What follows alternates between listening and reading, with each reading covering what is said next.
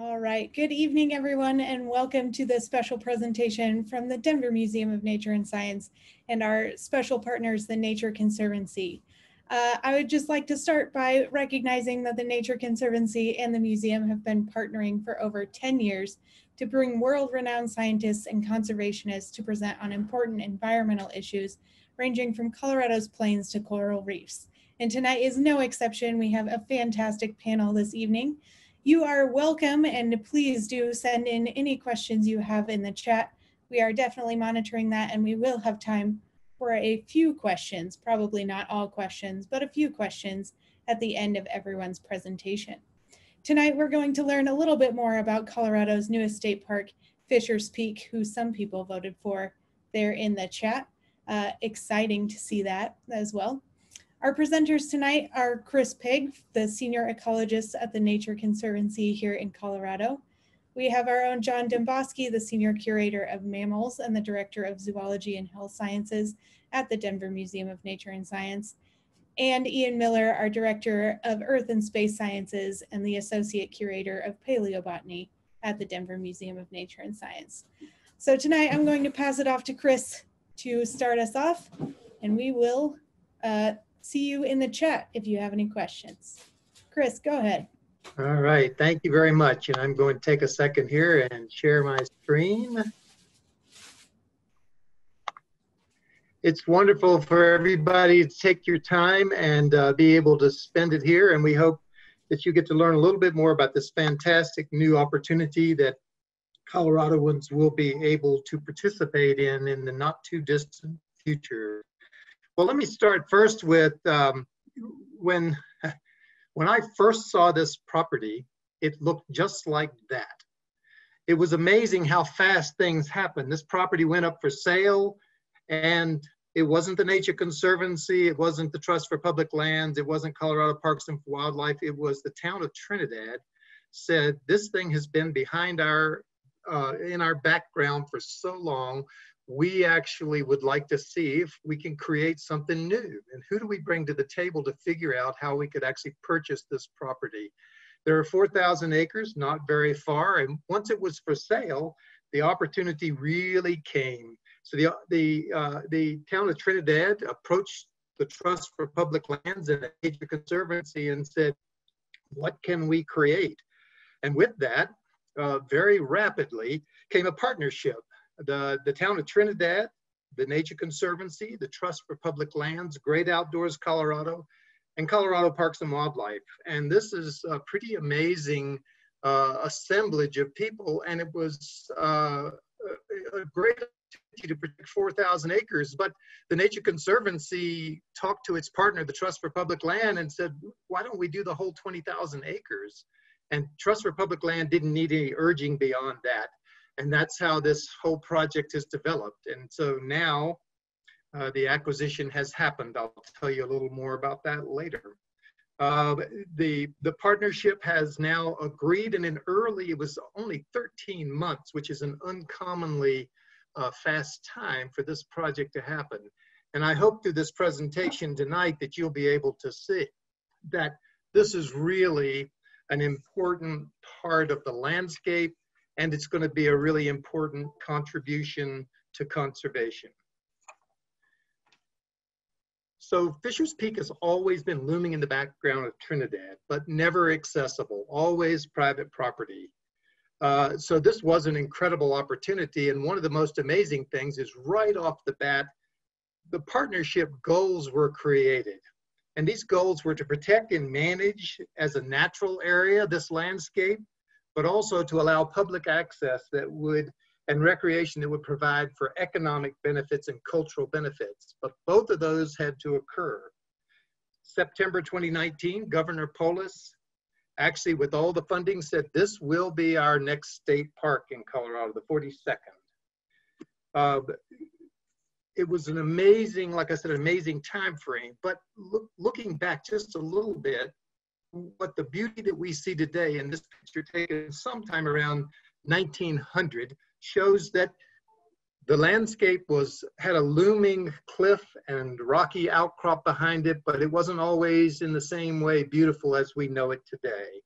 So this is an amazing thing, but nature has a way, and with the private land ownership, while it did protect the land from access for many people, it also nature take its course with the way that the landowners had predominantly used this land. And so uh, what we see today is nature has been going through its healing process.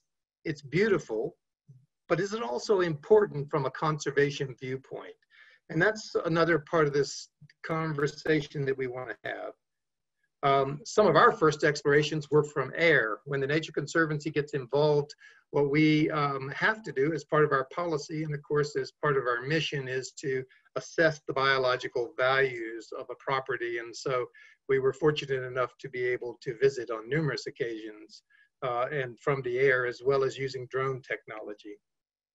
So take a quick look at this. Trinidad, uh, just north of the state line, about 13 miles, and Fisher's Peak is right down there uh, and abuts the state line.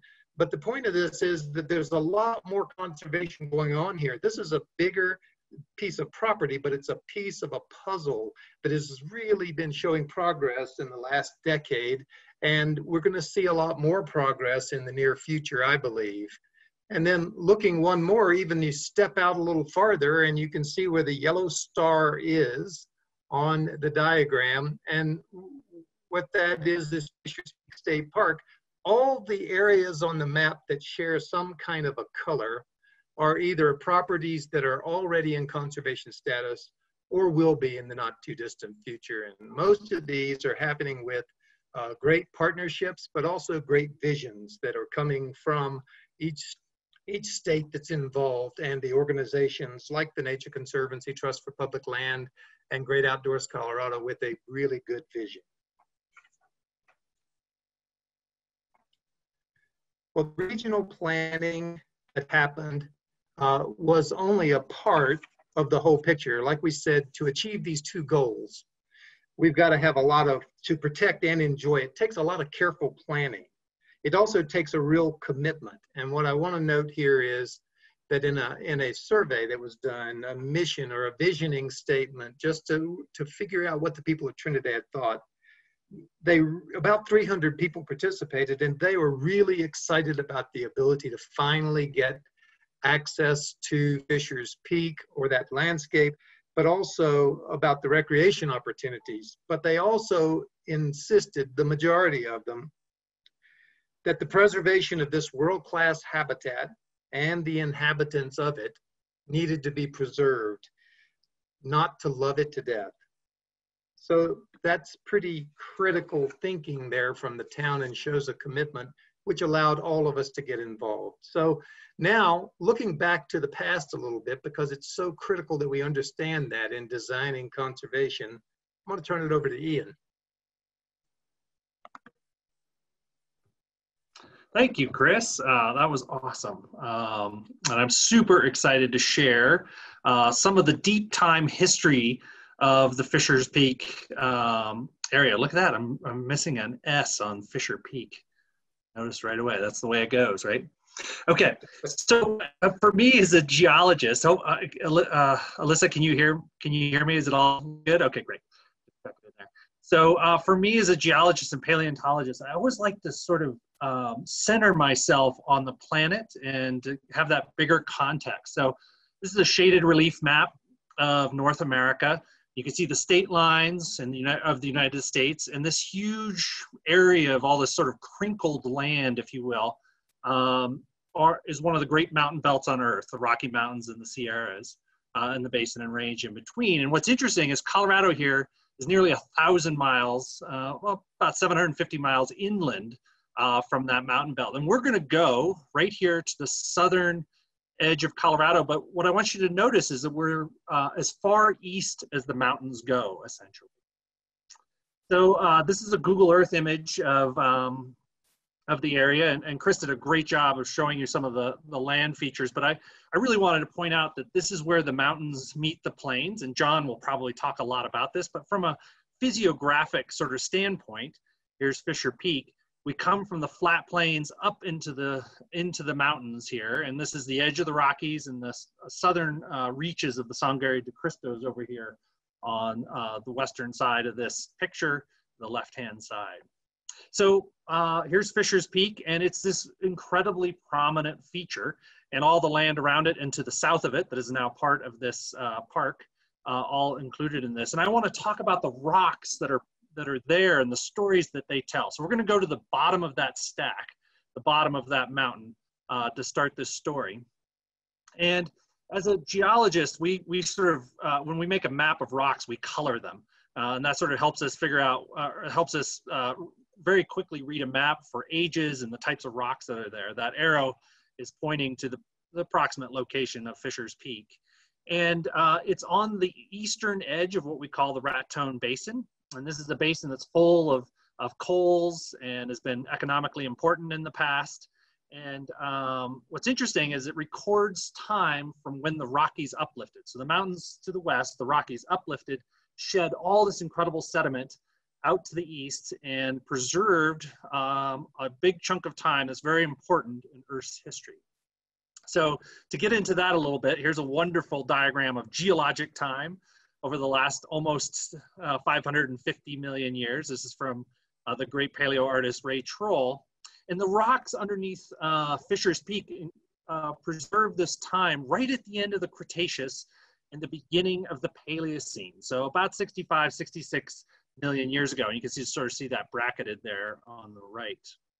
And why is this so important? So if we put this in the big perspective of multicellular life on Earth, here's a diagram that shows uh, time along the bottom, 600 million years, all the way on the left, um, uh, the present day on the right, and then the numbers of families of organisms on uh, so the vertical uh, axis. And you can see this the numbers of families of organisms sort of doing this seesaw pattern. And every time you see something go up, that's diversification. And when it drops, that's one of the great extinctions in Earth's history. And what's interesting is uh, we have five of these that we recognize in time, and they are super important in the sort of course of life. And what's interesting uh, further is that Fisher's Peak preserves the time of the last great mass extinction in Earth's history and that is the end of the Cretaceous. So I, I just want you to think about these mass extinctions. Mass extinctions are uh, events that kill at least 50% of the species on the planet. That's their definition. And they're, they're really biological filters, and they're also a point of origin. So here's sort of on the left-hand side a branching tree of diversification and phylogeny. So maybe each little branch here would be a different group of animals the extinction there in red, and that sort of trims that tree, that filter. Few things make it through, and they diversify into the new world. Uh, we sort of think of these as the biologic reset button. And again, the last great one happened about 66 million years ago. So when we look at life on Earth today, all, they all have their different evolution, evolutionary histories and uh, points of origin, but everything alive today had to have an ancestor that survived the last great mass extinction. That goes for the plants, the insects, the fishes, the birds, the lizards, the fungi, and the mammals, and the list goes on. So for, the, uh, for a long time, computer auto muted there. Um, we've we've struggled to sort of understand the end of the Cretaceous, the extinction of the dinosaurs, and the beginning of the age of mammals for a long time. And uh, for the longest time, we thought it was a gradual event until about 1980. Um, uh, physicist uh, Walter Alvarez and his dad, um, also a physicist, came up with this idea that a massive asteroid hit the Earth and killed the dinosaurs and was the source of the last great mass extinction. But there's still sort of two camps, and they even exist today. That there's this big debate of what killed the dinosaurs. Was it an asteroid? or was it massive volcanoes? So the other big idea out there is that huge volcanoes in India were the source of the chemicals and ecosystem change that caused the end of the time of the dinosaurs. So uh, Fisher's Peak and uh, the Raton Basin play an incredible, incredibly important role in the history of us figuring out um, when these, uh, uh whether it was an asteroid or a um, or volcanoes. And so here's Fisher's Peak again, where we're going to look at some rocks right at the base of that. And here's just uh, a couple of my colleagues from the National Museum in Japan uh, about three or four years ago. And they're here sampling this funny, this little white line underneath that sandstone. And that line, if we zoom in a little bit here, it's a little bit easier to see with the uh, um, uh, with the knife for scale, the Swiss Army knife, and we'll zoom in a little bit more. And that layer records the asteroid impact that happened uh, uh, right at the time of the end of the dinosaurs. And we just didn't really have a good uh, sense of that. We had no terrestrial record. We had no on-land record of this event uh, prior to a group from the USGS doing some seminal work in the late 80s. And they came up with, this is one of the original diagrams in 1987. You can imagine this debate in uh, paleontology and geology. Could something from outer space really come and wipe out a hugely important group of animals? And the group out of the USGS from Lakewood, Colorado, they went down there to work in the Raton Basin. And this is one of the first diagrams they published. And they found that uh, not only that the Cretaceous rocks, there was a, a very um, distinct change right at the appropriate boundary, but it had this incredible spike in iridium. This is something that the Alvarezes noticed in the marine rocks, but hadn't found on land. And that spike in iridium has a fingerprint of an asteroid. It's an element that's common in asteroids, but not at the Earth's surface. This other side are fern spores and they dissolved the rock, screened out all the little pollen spores, and found that right after the boundary, the entire world essentially was covered in ferns, indicating massive destruction. So they helped, and the Raton Basin played this, and the rocks right at the base of Fisher's Peak played this incredibly important role in figuring out whether or not it was an asteroid or uh, volcanoes. And we now know, or most of us uh, feel as though it's an asteroid. And so we were hit by this rock 66 million years ago, going about 150,000 miles an hour. It pulls outer space to the planet. It hits the Yucatan Peninsula and sends a shockwave and firestorm from Mexico to Alaska in five minutes. Here is uh, a reconstruction of uh, the San Juan Basin, New Mexico, so not far from the from the Raton, Trinidad area. T-Rex and Triceratops lived on the landscape, and there's the, they seem not to notice that fireball coming at them, uh, but they're toast here. Um, this thing engendered incredibly huge tidal waves that made it all the way to northern Texas. And um, one of the, the sort of main killers of the asteroid was the material that was blown back out into space. That stuff went up uh, into orbit, suborbit, and came back down within a day or so and it superheated the atmosphere to a couple hundred degrees Celsius, and it left all these sort of beads of rock. And this is a little chunk of the boundary near um, Trinidad, and you can see those little round pebbles. Those are the beads of molten material that fell out of the sky. And this thing wiped out forests the world over. And uh, we think that that was the main killing mechanism. Ironically, it was a day after the impact. It wasn't the impact itself. Though, if you were here in, in Colorado, and that thing hit in Mexico, you probably didn't survive the impact. It's that much, it's that, it's that powerful. So we went from this amazing world of the Cretaceous. Dinosaurs are incredibly dominant. Uh, there are thousands of named species. They dominated the planet for 150 million years, and they all died out in a moment.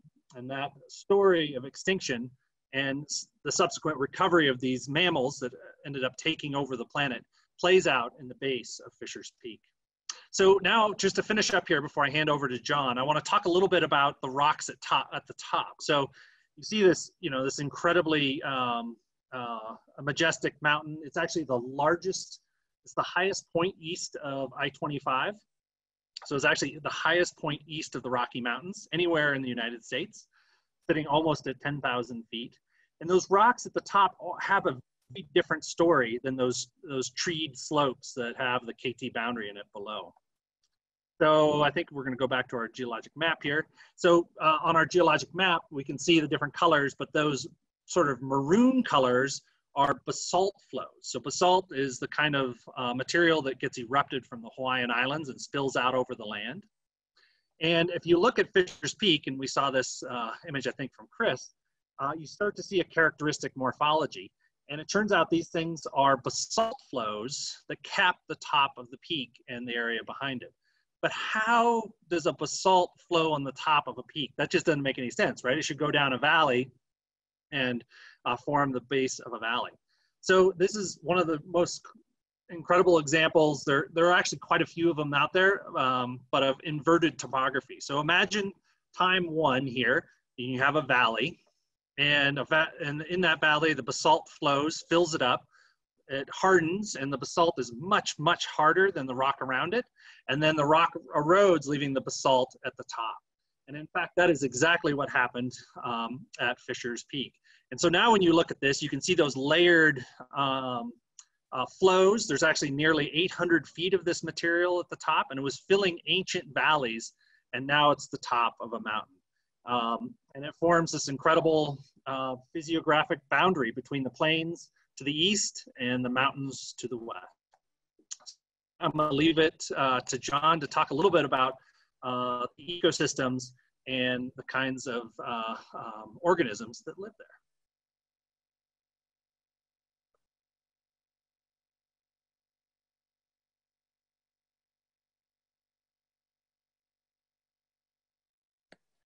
Okay, uh, thanks Ian for going into deep time talking about stuff like mass extinctions when actually we should be celebrating that we're putting aside some land for a state park. So that's what I'm excited about there.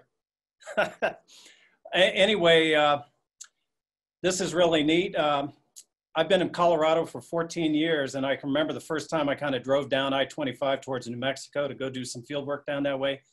Uh, first time I saw Fisher's Peak, it's so iconic. And my first thought, of course, as a biologist was like, who owns that land and how can I get access to it? And I can remember looking at maps going, oh, this looks private. I mean, there's state parks around, which I'm gonna, that uh, adjoin it that I'll talk about here too. But um, this is really exciting. Now, when uh, the museum was approached uh, from Chris about talking about this Fisher's Peak, uh, state park, uh, part of me was like, well, I personally haven't done any work in there. But the thing is, uh, our museum does have a, a, tie to it from almost 25 years ago. And that has to do with some work by a former uh, curator of mammals. And I'll talk a little bit about her work. And also when we were discussing this, uh, just uh, we were talking about what we were gonna talk about, Chris mentioned how important museum collections are to a lot of this work. So all he had to do was give me a little bit of a, uh, an inroads into that. So some of what I'm going to talk about is a little bit about our collections and how they fit into some of the work that went on 25 years ago and uh, how we have those specimens that have formed a, somewhat of a basis for why this area in Fisher's Peak is so important. So I will share my screen here. And we'll get right into it right here. Okay. So as I mentioned, uh, our museum does have a tie. We don't have a recent, we weren't part of the partnerships recently that led to the formation of Fisher Peaks as a state park, but we do have uh, uh, deeper ties that go back about 25 years, as I mentioned. And a lot of that has to do with collections. So Many of you who are members have maybe been to a members night or been visited the museum and behind the scenes, we have 4.3 million specimens and objects. 1.27 million, almost 40%, uh, um, are actually in zoology collections there. And what this image shows is an image of our uh, state-of-the-art facility we have where we store zoological uh, specimens. So you see a lot of mounted uh, uh, birds and mammals here. Now our collections, and this is purely zoological here at the museum, are about eight collections. Everything from mammals, which I'm the curator of, birds, you've got insects, marine invertebrates. Uh, let me put a pointer on here, whoops. This right here with the, the ugly mug there is our parasite collection. That's just a pinworm. So we have a large uh, parasite collection that uh, is actually tied to our mammals and birds. So every time a mammal and bird comes in, we take the parasites off and we have a, this uh, collection with them. So we have about, uh, we have eight collections. Five of them are major, meaning they're, they're large. Uh, the insect collection is almost a million. That's most of our collection right there. Uh, spiders are big. Uh, many of you know Paula Cushing, our uh, curator of arachnology. We have a large, one of the top 10 arachnology collections. So all these, for the most part, are a good example of the biodiversity. Even though it's from seven continents, a lot of it is focused on Colorado and the Great Plains and the Rockies. And our collections get used quite heavily. And that's going to be the lead into some of this uh, relationship to Fisher's Peak. But they get used quite heavily. I mean, until the pandemic hit, we were doing a lot of activity where uh, materials used by the scientific uh, community. And that's across a lot of different uh, disciplines of science and uses. So a lot of people, uh, you see a mammal skull up there in the top left, that uh, people do morphology. They make measurements on it. They may want a bone sample to do stable isotope analysis.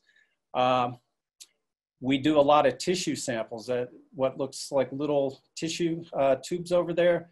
That's probably one of our biggest uh, loan activity is people doing genomics and genetics that lead to phylogeny, phylogenies, evolutionary trees like in the middle there.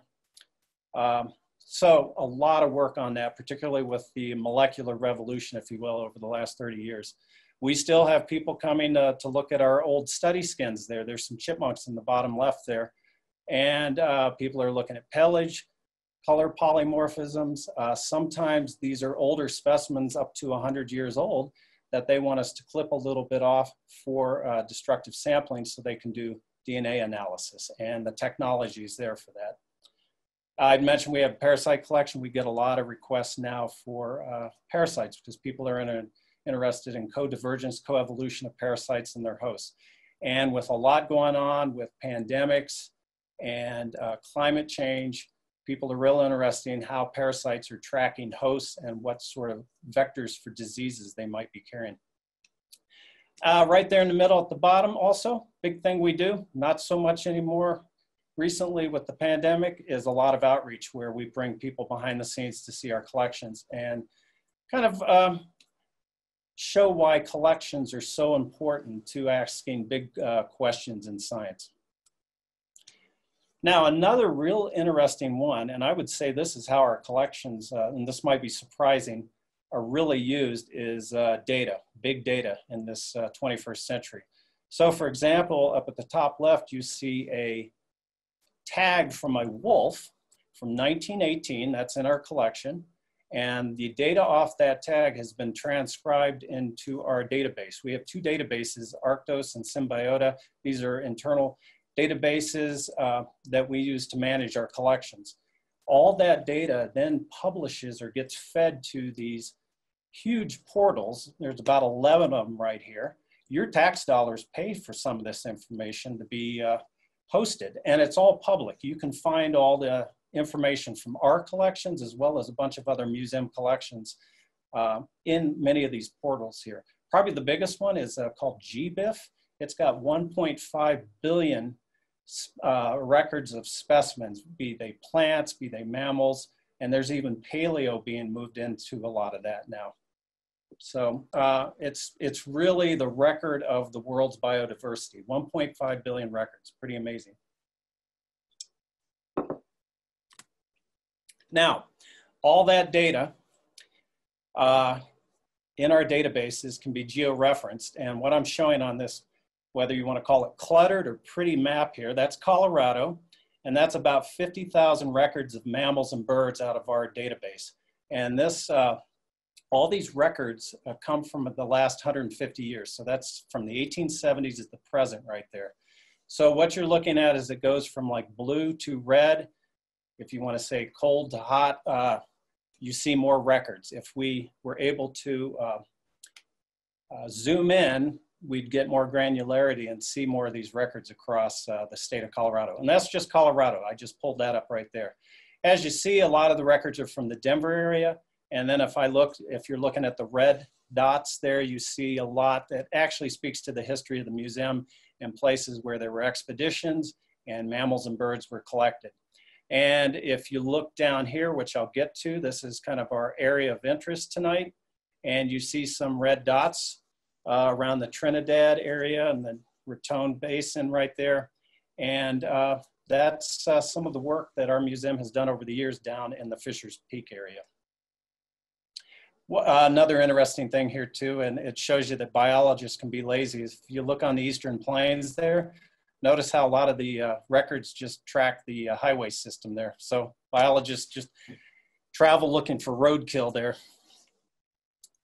Okay, this map's kind of cluttered and it's hard to see the topography underneath. So I've got this other image right here that's kind of zoomed out and shows that area. Uh, there's Trinidad and uh, Raton right there. And so you're seeing a little bit of New Mexico. And what you're seeing, like Ian showed earlier with the geology as well as the mountains, is you're seeing the Southern Rocky Mountains to your left. Most of you are familiar with this. And then you're seeing the plains off to your east. And what is really interesting about this is, uh, and why Fisher's Peak in that area is so interesting, because when I look at this as a biologist and the type of work I do, which is molecular genetics, I look at this map, and since a lot of my work's up in montane regions, I see there's mountain ranges, but they look like islands to me. So it's, it, it's an archipelago, a terrestrial archipelago. So I'm looking at that going, well, we need to get to this isolated mountain range. We need to go here because there's probably a lot of differentiation between populations of animals that live there. And what happens here near Fisher's Peak, which draws my eyes, is you see a little bit of an arm going off of the southern Rockies from the I-25 corridor, and it kind of juts out into the eastern plains, and it makes it almost, it gets into Oklahoma.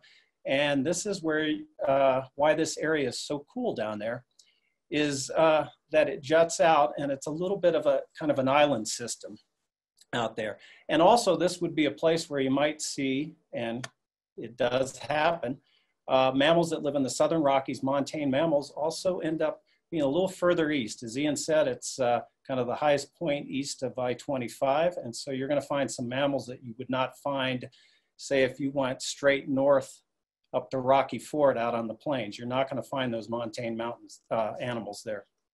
So as a biologist, uh, that really, uh, who studies uh, geography and where animals are distributed, this really speaks to me.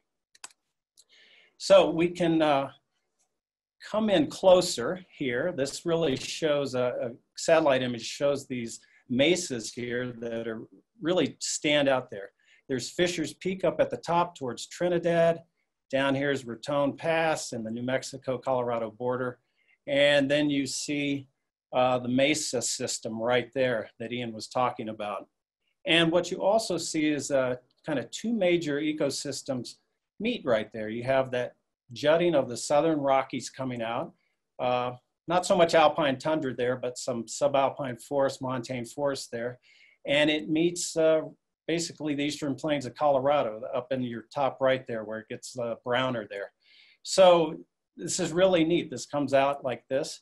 And this is why it's been of interest to a lot of biologists over the years. And the sampling points you see there, those are from our database. And you see some in blue and yellow. And what that is, is most of that is work that was done by one of our biologists 25 years ago, uh, Cheri Jones, who did work down in uh, the state parks down there that are adjacent to Fisher's Peak here.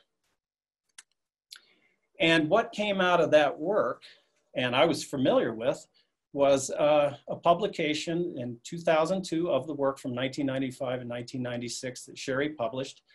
And what she found is she did survey work over two years. It was focused on mammals, and that's what you're going to get tonight from me is the, the mammalian perspective around Fisher's Peak. And what she found was 31 species uh, confirmed in, in the area right south of Fisher's Peak. And uh, these specimens are in our collection. She also said there were probably 57 additional species nearby. 37 were probably very likely to occur and just hadn't been found.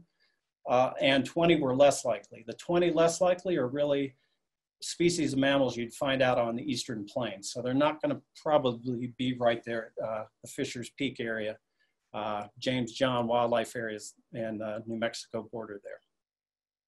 So uh, to kind of get into this and uh, I wanted to give you a couple examples of some of the, the neat mammals that are found down there. Um, what Cheri found of those 31 mammals is you can kind of lump them into big, small, and medium. Uh, you've got some larger mammals down there. Uh, you've got your black bear, uh, your elk are down there. Uh, there's also uh, mountain lions nearby as well. You've got your medium variety of mammals here, coyotes, beavers, raccoons, pretty common stuff that you might see also around the, the Denver area as well.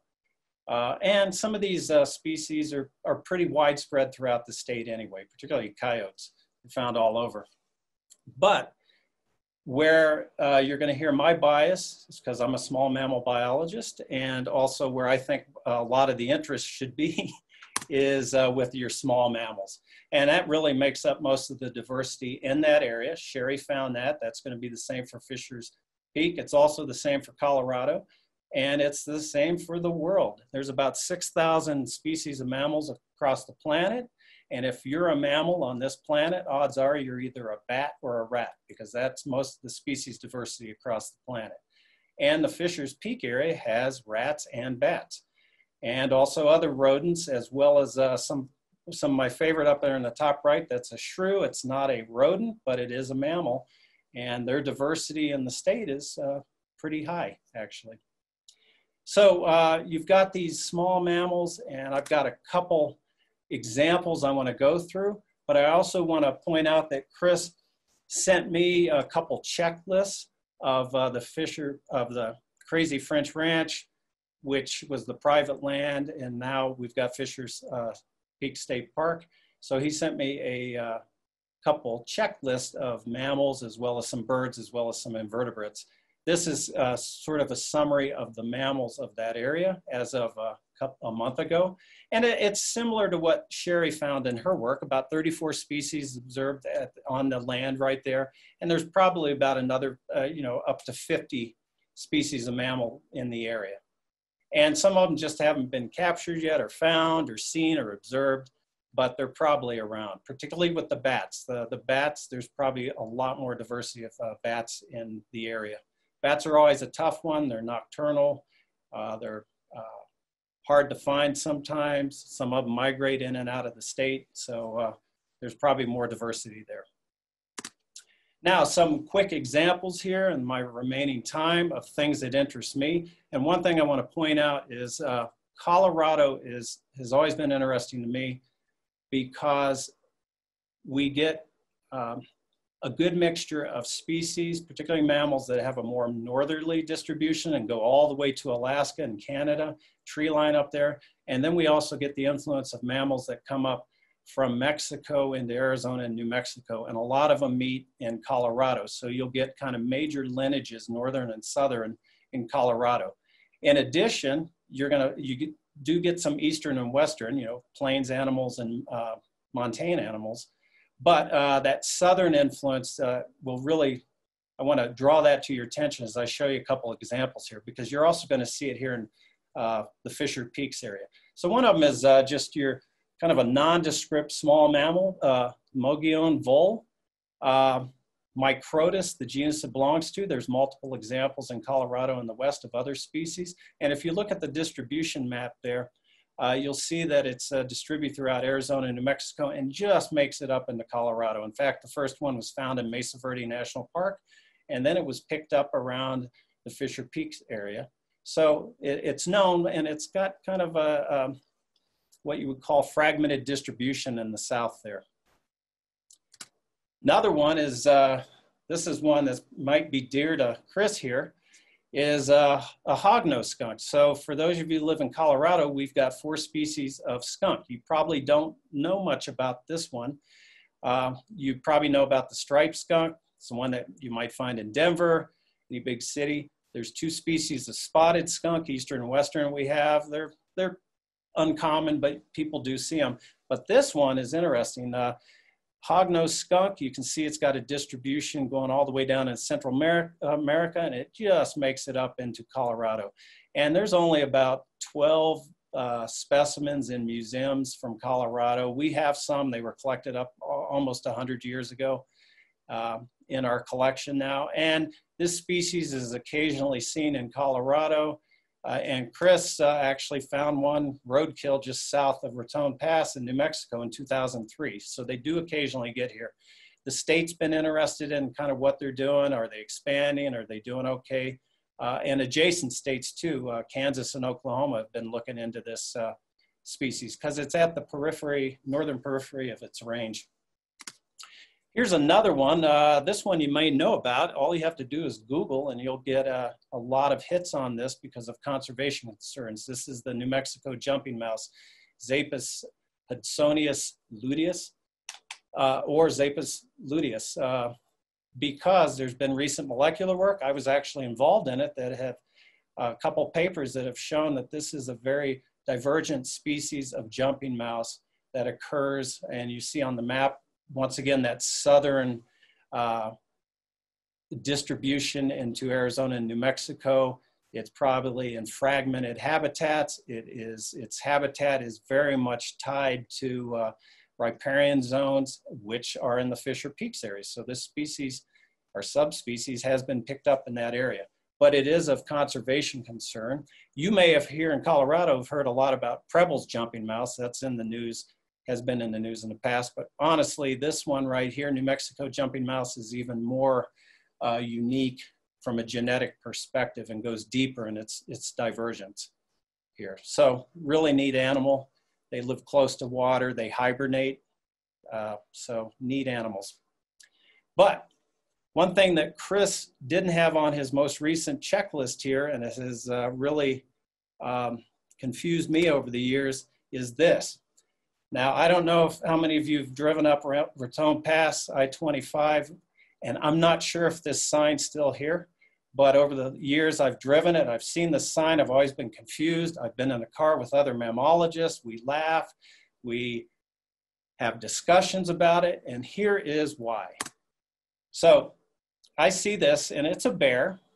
It doesn't really look like a black bear to me, and uh, the three arrows point to a slight hump the long neck and that kind of dish concave uh, face right there. So it's a bear crossing right there near Fisher's Peak. And if you look at those characteristics, that's actually what you're kind of seeing more of. It looks more like a polar bear, but it also has grizzly bear, brown bear characteristics. So, Chris, I think on your list, you need to put the Pizzly or the Grolar on your list because it must be around the area. I don't know if anybody's seen it, but at least Colorado Department of Transportation thinks it's nearby. So, but uh, there it is. So that, I don't know if that uh, sign's there anymore, but it's always uh, perplexed me and humored me at a, for a long time. So to wrap up here, you know, I talked a lot about mammals. Uh, what about other animals? Well, Chris gave me some checklists, been about 101 of maybe 138 species of bird that could be in the area observed and identified. And then if you want to get in the invertebrates, that could be a whole nother talk and a lot of work. Uh, he gave me a checklist of about 450 at least identified invertebrates, spiders, insects, millipedes, and who knows how many are in the area uh, that way. I mean, and that's pretty classic that typically invertebrates tend to be understudied in most areas. We know a lot about mammals and birds, but less about uh, the invertebrates. And if they've been doing any sort of amphibian or reptile surveys, uh, we'd have to defer to Chris if that kind of work's been done. That's another major vertebrate group there. Uh, last two things, there's probably more species of bat in the area, I mentioned that, and probably some small rodents and shrews that would also pop up. And some of that would be, they're tough to tell, they're nocturnal. Sometimes you have to look at specimens, sometimes you have to do DNA work to do that. And then here's something I think that's really interesting. Part of it is the kind of work I do uh, with molecular is uh, even if you identify like you know there's a shrew there or a vole there, there's a good chance that uh, it could be a cryptic species by looking at, once you look at the genetics or the lineages there. So for example, in the area of Fisher's Peak, there's pine squirrels or red squirrels, chickarees, whatever you want to call them.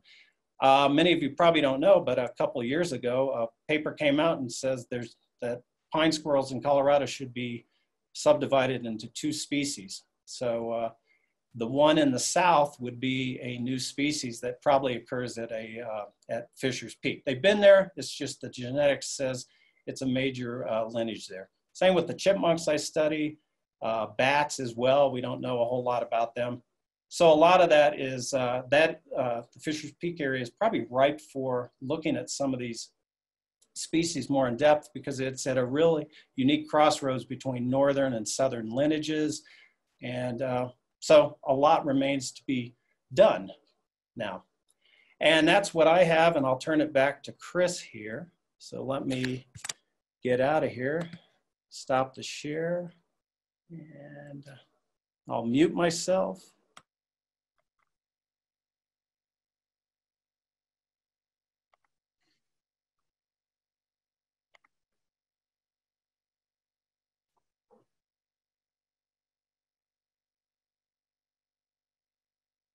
All right, uh, I am trying to get my computer to listen to my command here. There we go. Okay, well, thank you guys. This is really great because the the the uh, lay of the land, the geology, the geomorphology really has a great deal to do, uh, not only with what lives there, but what could live there in the future. And we're not going to talk about that until uh, uh, another session later on, but it's really important that we think of this property not just as a property, but as a linkage or connection. I did see some notes in the chat about that, and maybe we can get to those questions at the end about the I-25 corridor. But what I want to talk quickly about, since this is a field, um, kind of a virtual field trip, is some of the actual stuff we've seen out there. And the stuff that I'm talking about is really, uh, we need information on the things that are most likely to be good indicators of success of the conservation part of this, and also what would likely be most impacted if we didn't take care and do our jobs right. And that's just really a specialty. And so when John's talking about the biogeography, we create lists, we call them hypotheses of what might be there.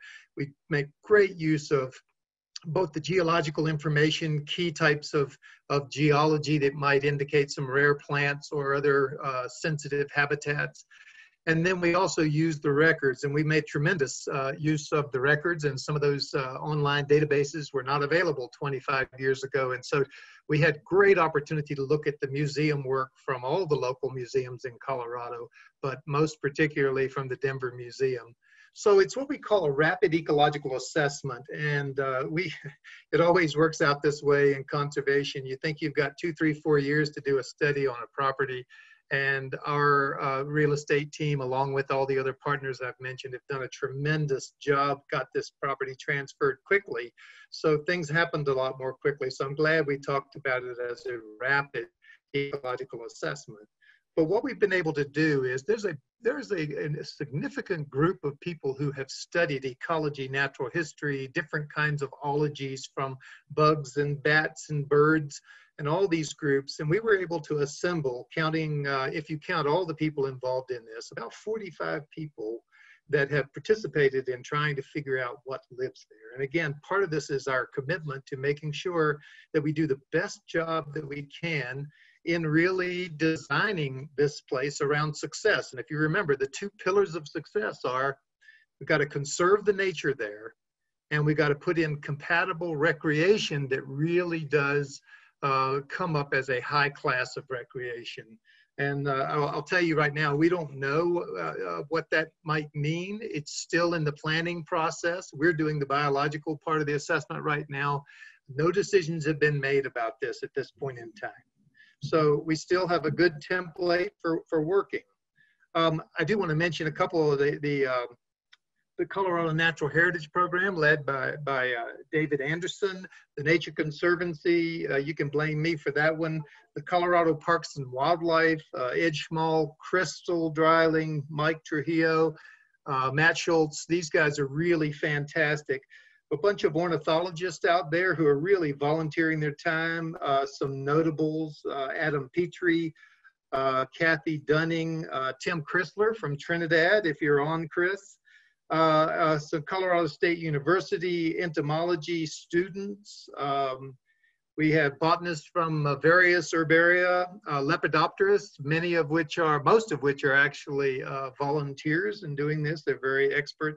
And then a great naturalist in the Eastern Plains area, in particular, Mike Figgs. I just wanted to note those names And uh, most of these people are actually spending, uh, volunteering their time. Uh, Great Outdoors, Colorado, the Nature Conservancy, and Colorado Parks and Wildlife also supported a lot of this work. So I wanted to just mention that because the effort is not me going out in the field and, and looking for these things, although I'm fortunate enough to get out there some, um, but it is about can we bring together a new kind of a partnership to actually do these assessments in a way that really will inform and allow us to commit and measure our success in these planning processes. So the rest of this is really, um, you know, we, we spent nights in the building down there looking at maps and studying and determining where we thought the most important places might might be. We studied the geology and looked for shales, which often have rare things we, we did our homework on this process and then we actually got in the field. And um, one of the things i want to mention is is that that it really has made a difference in the world by having wildlife cameras to be able to set out. They work 365 days a year 24 hours a day. That especially if you actually get the batteries changed i found out um, eh, but some of the things that we've discovered doing that and a little bit of other types of survey work, um, or, or, as you can see, there's a lot of predators out there. This proper, property has been private and quiet for a long time. So the mountain lions are, it's not hard to find the tracks. And of course, you, the elk, which John was talking about, and throughout their life cycle, calving is going on. We have videos from our wildlife cameras that show them fighting, and of course, we can hear the beautiful bugling there. And the hog-nosed skunk is kind of a surprise. For many years, nobody was seeing these things in the state, an occasional roadkill, but we came up with those uh, on the property in both set of cameras. I'll just mention that there's two types of studies going on out there right now. Uh, the Colorado Parks and Wildlife, of course, is very interested in uh, the, the way that the larger mammals in particular are using the habitat. So they have uh, somewhere in the vicinity of 60 or 70 cameras randomly placed out there, which are taking pictures and actually seeing how much activity occurs. Um, the, the Nature Conservancy's cameras are set at specific locations that might attract species like springs, game trails, and things. So we have a good coverage of those. And uh, it was a wonderful surprise, but with Tegan May uh, from our office in the Nature Conservancy, we got a little trapping in last year. We haven't been able to get to the actual live trapping this year, but we were fortunate enough to, to locate a uh, New Mexico meadow jumping mouse, an, an, endangered species, as John was talking about, that really does need some solid conservation. So those are some of the, the species that will help us figure out how to design this place so that the recreation truly is compatible uh, as we work through the planning process. Um, here in the bird work, uh, something that's familiar to many people, those big cliffs um, are not barren and they have a lot of interesting uh, organisms near them and um, among those are the peregrine falcons. And uh, Ed Schmall just reported to us that his technician and he have seen a young fledgling on the edge of the cliffs this year so that's successful Another bird that we found to be fairly common, thanks to our uh, nocturnal birders out there, is the flammulated owl. And the flammulated owl is particularly important because it has specific habitat requirements. And so when we're out there on these ridge tops and listening across, uh, it's such a beautiful sound to hear their uh, fairly low but regular hooting in the area. And it turns out that they're quite common in there. And I'll show you why in a minute with some of the forest pictures. And then the other birds, which are a warbler, a ground nesting warbler. They get their name from having a, a nest shaped like an oven. It's right on the ground. Uh, and so they're particularly good indicators of disturbance uh, so that if you walk through their habitat, they're going to spend time uh, harassing you and trying to get you to leave that area. And that is going to be, you know, a good indicator for just how much we can assure wildlife that it has a quiet place in parts of the property to actually survive. So the birds, that you saw the number of birds, it's a great place. It's, it's over, it's about 3,000 feet from the lowest point to the top of the cliffs up there. And so it's a really big dramatic habitat. And of course, birds don't have any problem getting there. It just has to have the right habitat conditions. The invertebrates are pretty remarkable Uh, and uh, as John said right off the bat, there, there's there are many, many more of these things out there than than we have the time to discover. But with people like Eric Eaton, uh, one of the co-authors or the author of the uh, Insects to North America, uh, helping out out there, we have this tremendous thing. He and his wife, and then uh, numerous other people. Uh, Christian Nunes from Boulder is out there with some experts looking at other butterflies. And I want to mention this particularly because there are four subspecies of butterflies, and let's just take them as populations that look different than the rest of them, that live only in this area. Now, not on this property, but Capulin Volcano, the Sierra Grande, the Raton Mesa, and all these areas. It's another good indicator of just what John was talking about, that the biogeography can be used as a separator. It leaves, it, it leaves things in these islands or archipelagos and they can differentiate over time. This particular one is a day flying moth. It's called the police car moth, which I think is a wonderful name for it. But it's particularly interesting day flying moth. I'm just using it to represent the more than 450 species of invertebrates that have been identified out there. But what about some of the vegetation types? Because um, from that picture that I showed in the very beginning about how desolate some of the slopes were on the property around the, the turn of the past century, um, we have been um, very much uh, surprised and amazed to go through the property and find pockets, and some of them are rather large pockets of this older growth or mature timber. These ponderosa pine trees, uh, we have aged a few of them roughly, but we've aged them and some of them are over 250 years old, which is not by ponderosa pine standards very old, but by this landscape, it's pretty dramatic. And what's important about these older growth habitat types is they have unique niches or parts of the habitat that these species all use.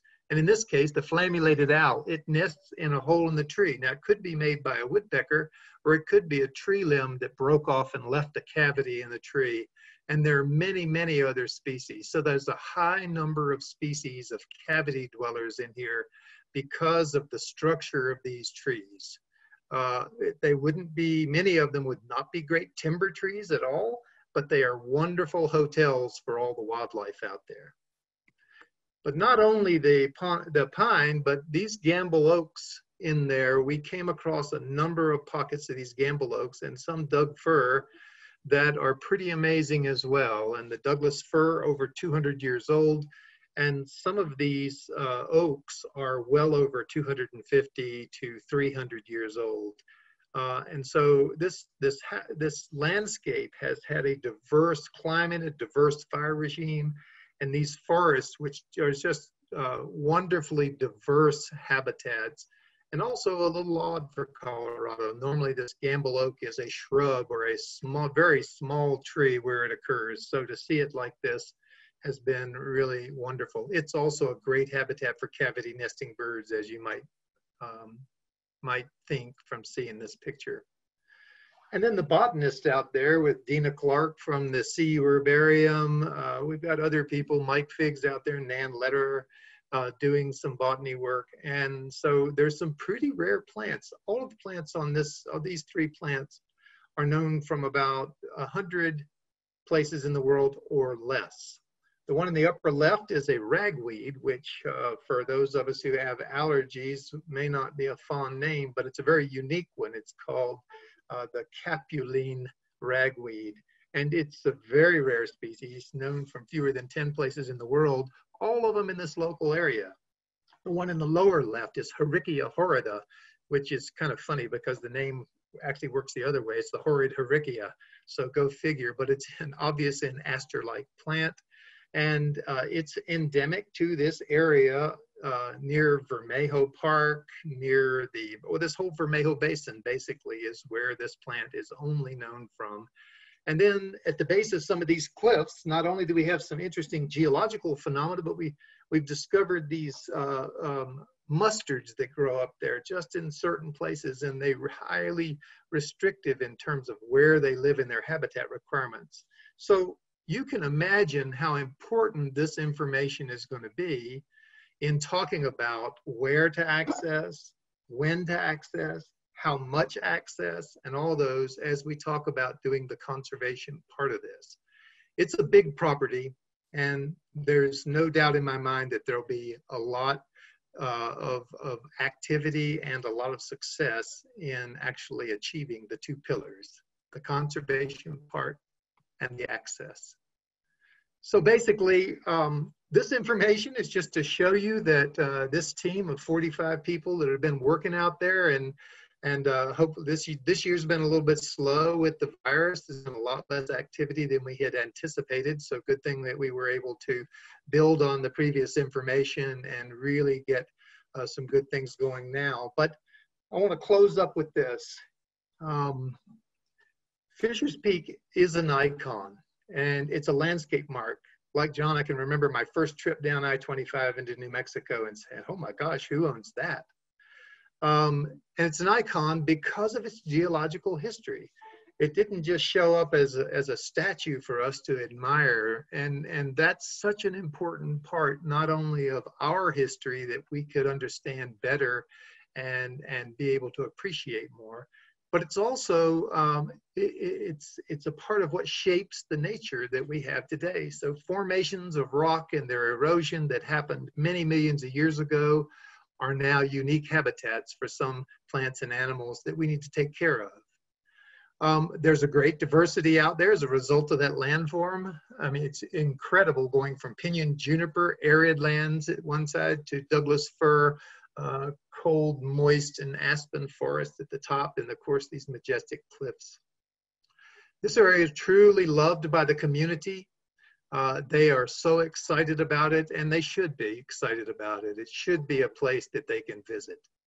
Um, the partnership here is incredible, and it's just, this would not have happened with this amazing partnership especially happened as quickly as it did. And with the governor, um, part of his wild ideas, part of this is wanting to get people to appreciate our natural history and our geological history, as well as the other parts of our life here, uh, by getting people out there. It's going to take partnerships. And uh, uh, in addition to that, this discovery that we've been able to do out there is built on the past knowledge. And so I can't overemphasize being able to access that. In fact, one of the most interesting uh, documents that we looked at was the original land surveys of about 1870. And they described, very roughly, but they described the vegetation. And it is remarkably similar to what we see out there today. We have detailed information. Now we can start doing the robust planning instead of starting with just a wish list of what might have been found out there. And finally, what, what the promise of this process, and we hope will be a, a kind of a new model for how some of these things are done, is getting people engaged in it so we can gather the information that will design for nature and for people to learn and enjoy these landscapes. So with that, I thank my colleagues and I thank all of you for coming here. Um, I can't tell you that you can go visit this park right now. I'm not in control of it, but the governor has said let's push really hard to have it either in sometime in 2021 and hopefully earlier in 2021 when there'll be the first trail or two open. Thank you. That was great. Uh, thank you all so much. Uh, we are getting tons of comments here in the chat. Um, and we do have a couple of minutes to ask a few questions of each of our panelists.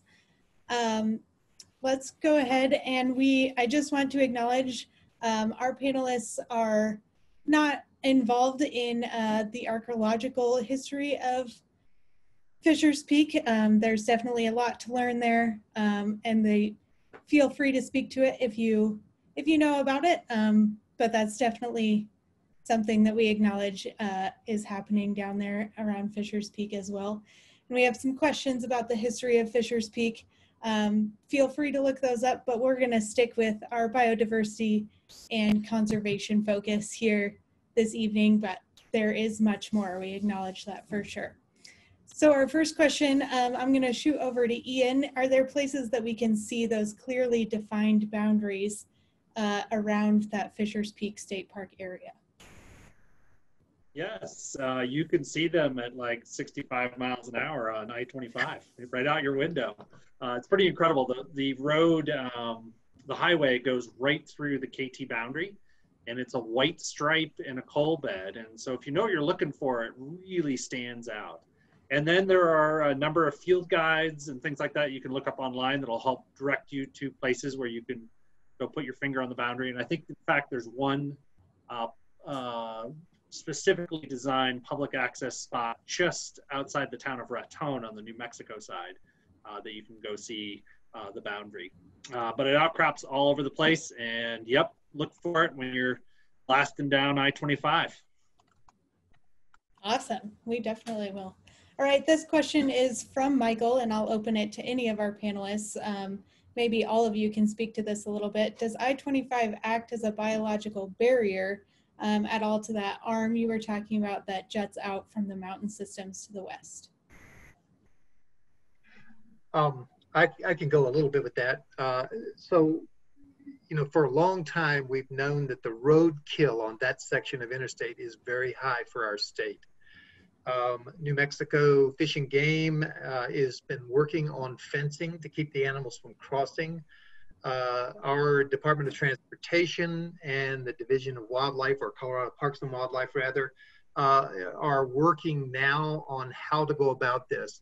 I do want to say that uh, is it a barrier? You know, it depends on the organism, and these are tough things. But even with the high kill rate, we probably should describe it as a filter at this point in time.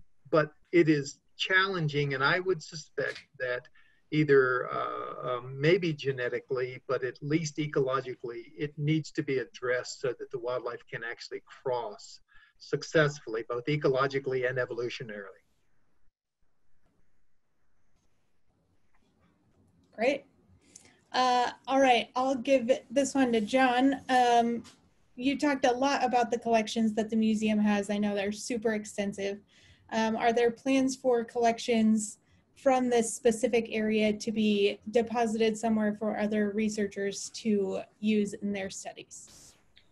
Say yes, John, say yes. Yes. there it is. I mean, uh, number one, uh, some of that material I talked about that was collected 25 years ago, that's in our collections now. So the uh, small mammals uh, that Cheri Jones collected, they're in our collection. There's actually tissue samples with them. She had the foresight to look into the future on that, even back in the mid 90s.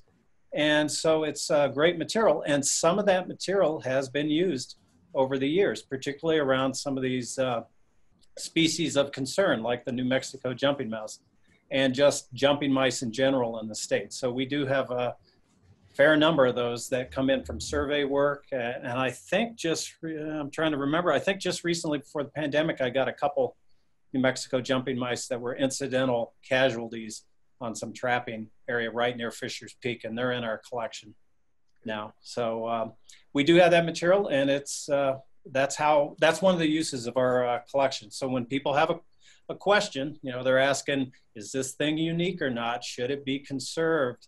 Uh, really one way to start with that is to go right to the specimens that people are talking about and uh, study them again, whether it's with genetics, morphology, you name it. And now we're moving into the genomics there, so uh, that's even getting, uh, we're getting even more insight into that. Great, thank you.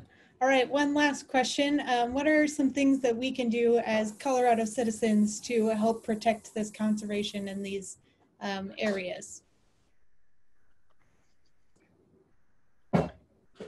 Or either of my colleagues could start this. I'll just say that I think we need to, um, we, we know that our habitat for wildlife is declining.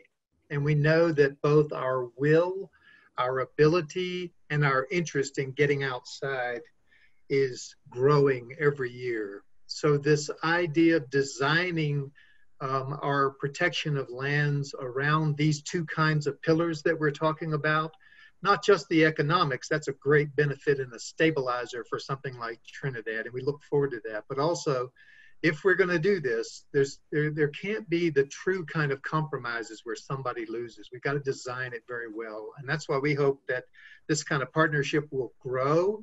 That uh, relationships with the museums and and other organizations can help it. But the the key is going to be um, actually designing all of this so that there are true successes on both sides. And I'll just jump in here. I mean, basically from a, my perspective as a biologist and a biologist that's a curator at a large natural history museum with collections, as I told you, that go back 150 years, particularly in my realm here, that uh, any kind of planning that goes around into setting aside lands, I mean, there's so many different variables that go in and there's so many different reasons why people want to preserve land, but at least from my perspective, uh, our collections and the work that was done in the past can really inform decisions made uh, now when we plan for these uh, uh, lands to be set aside or protected, or we want to say, well, we want to protect this area because it's got so many unique species of plants, animals, you name it. Well, a lot of that is from, we know that from uh, museum collections. So I am a little biased here, but I will say that's how uh, Denver Museum of Nature and Science can inform a lot of these decisions. And I would like to think that, uh, you know, those mammals that were collected 25 years ago by Cheri Jones had some role in even Fisher's Peak and the areas around that, and that part of the state and part of northern New Mexico as well. And I guess I will say something too from the geologic standpoint. And we're we're so fortunate here in Colorado and really the West to have incredible geology and paleontology at the surface. And there's a concept out there called geoheritage, and it's becoming more popular here in the United States. And it's this idea that we conserve uh, these incredibly important geologic outcrops that tell us something about our collective past uh, for everybody to see and everybody to access. Um, it's quite popular in Europe and other places around the world, but it hasn't quite gotten the traction here. But we have places that are like it, like Dinosaur Ridge with the incredible uh, footprints outside of Denver and other places like that. And there's no doubt that the exposures of the KT boundary, the, the actual layer of material that fell out of the sky from the asteroid impact 66 million years ago qualifies as that. It's just one of the more remarkable uh, sort of events in Earth's history and is preserved right there at Fisher's Peak. So um, uh, I think as Coloradans, we can recognize that and visit it and maybe not dig it all up is always a good thing. And uh, um, but at any rate, uh, that would be the maybe the geologic perspective. That's fantastic. Thank you all so much. Um, we are running out of time uh, this evening. Um, but if any of the panelists would like to share any of their final thoughts here about Fisher's Peak, we have a minute or two for that as well.